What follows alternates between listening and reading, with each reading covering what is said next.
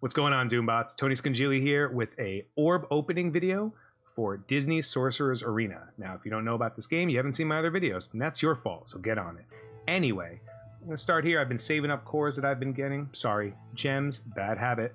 Saving up gems I've been getting from doing the random Tapjoy missions to make sure that I can get a free attempt at opening these, and I just want to get an idea about whether or not this 5x ultimate chest is uh, worth it. Now, obviously, you know you get something out of it, so that's could be good enough. And if you check really quickly what the value of these independent chests are, you'll see that uh, you have a very high chance of getting 10 to 14 shards of some characters, and then a little bit of a lower chance to get higher impact characters, all the way down to a uh, almost non-existent chance of getting 90 to 100 shards of any character in this.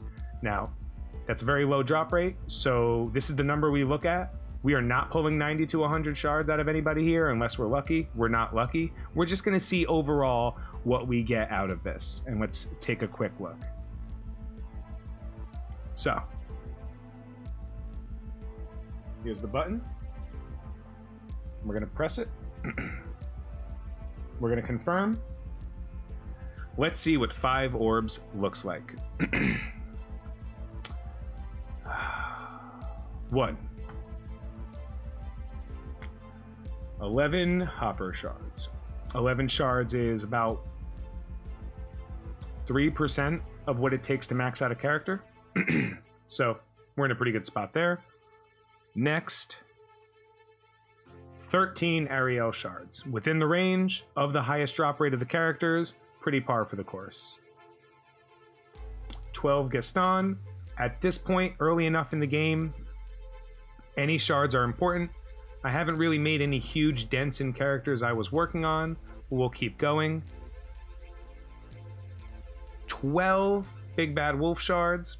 Again, another character with a very high drop rate uh, on the list, so I'm pulling what the orbs are telling me I'm supposed to be pulling. Let's see if this one uh, breaks open. Let's see.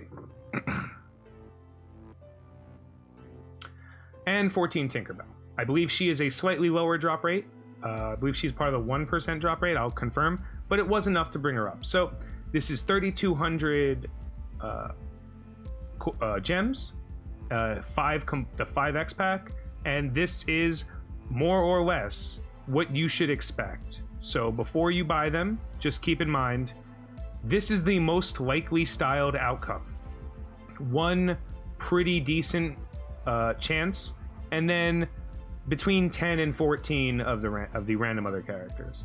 Um, do I think it's worth it? Well, it depends on how much you evaluate your gems at and how free how many you're getting them. Ultimately, I still think farming characters and saving your gems for farming is most important, but if you got it, spend it. You can do a little bit worse than uh, I did, especially in the early game when all you need to do is unlock more characters and really experience the game. Anyway, thanks so much for watching, guys. I appreciate it. Have a good night. Have a great day. I've been Tony Scungili, and I'll catch you later.